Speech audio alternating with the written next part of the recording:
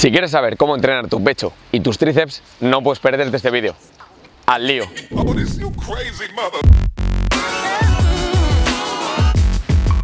El pecho y los tríceps son músculos encargados de una gran multitud de movimientos. Aumentar su tamaño y su fuerza nos facilitará realizar este tipo de movimientos y nos dará un aspecto mucho más atlético, por lo que empezamos. El press banca es un ejercicio multiarticular que nos permitirá trabajar sobre todo el pecho, pero también involucrará en el movimiento a músculos como el hombro o el tríceps. Para realizarlo tendremos que tener en cuenta que nuestros brazos deben encontrarse formando un ángulo de unos 45 grados con respecto a nuestro torso y que la escápula debe estar retraída y bien pegada al banco para evitar posibles lesiones y al mismo tiempo focalizarnos en trabajar los músculos mencionados. En los fondos lastrados nuestra prioridad será trabajar los mismos músculos que en el press banca, pero en este caso la implicación de nuestros músculos estabilizadores será mayor. Al igual que en el press banca, buscaremos que nuestros brazos formen un ángulo de 45 grados tanto en relación a nuestro torso como en relación a las paralelas donde ejecutamos los fondos.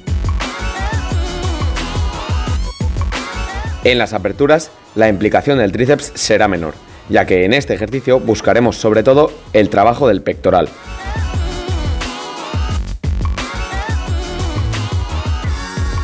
Deberemos mantener los brazos semiflexionados y las mancuernas no se tocarán entre ellas en el punto de máxima contracción.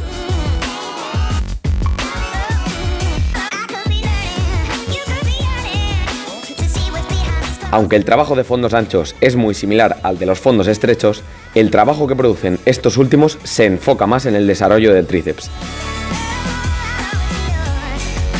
En ambos ejercicios trataremos de llevar nuestros codos hacia el interior.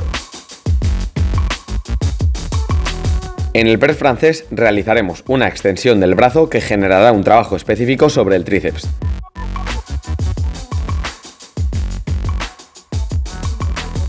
Este generalmente se realiza con una barraceta para evitar que la excesiva rotación interna del radio nos produzca dolor en las muñecas.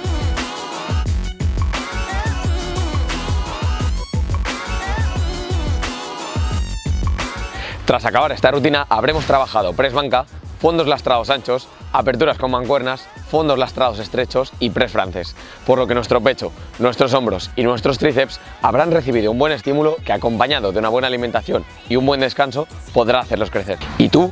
¿Qué rutina sueles seguir para trabajar estos músculos? Cuéntanoslo en los comentarios. Esperamos que hayáis disfrutado del vídeo y que os suscribáis si queréis saber más sobre temas relativos a la nutrición y el deporte. Hasta la próxima, de pisada.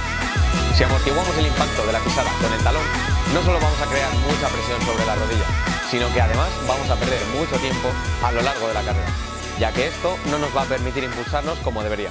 Esto, de todos modos, no implica que tengamos que...